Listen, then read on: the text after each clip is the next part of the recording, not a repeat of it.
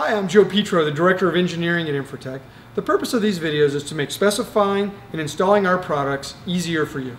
Prior to installation or service of Infratech equipment, you'll need to disconnect all power at the main feed. You should also use a qualified electrician who's familiar with the National Electric Code. In this video, we'll discuss the application and installation of the duplex stack switch assemblies. The most common use for the duplex stack switch is for a dual element heater to switch bulb A on and off independent of bulb B.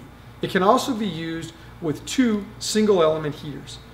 We offer this stack switch in a variety of configurations including flush mount, flush mount with a weatherproof cover, and surface mount with a weatherproof cover. Prior to installation, please review the wiring diagram included in the packaging or you can download the wiring diagram in our literature library under duplex stack switch assembly. Now that we have our wiring diagram handy and available, we're ready to begin our installation.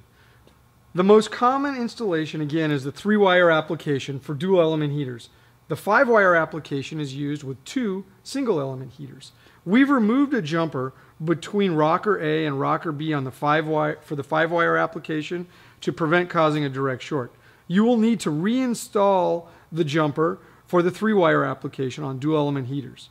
You bring line 1 to the switch, jumper from the input to the next input lug. Then you will have 1A, go to one of the black wires in the heater. 1B, go to the other black wire in the junction box on the heater. Same as at the switch. Line 1 comes in, jumper to the uh, extra rocker, 1A to one black in the heater, 1B to the other black in the heater. You'll see on the diagram, line 2 is unswitched. It goes direct to the heater wire nut to the two red wires in the heater. After you connect your ground in the heater, your installation is complete.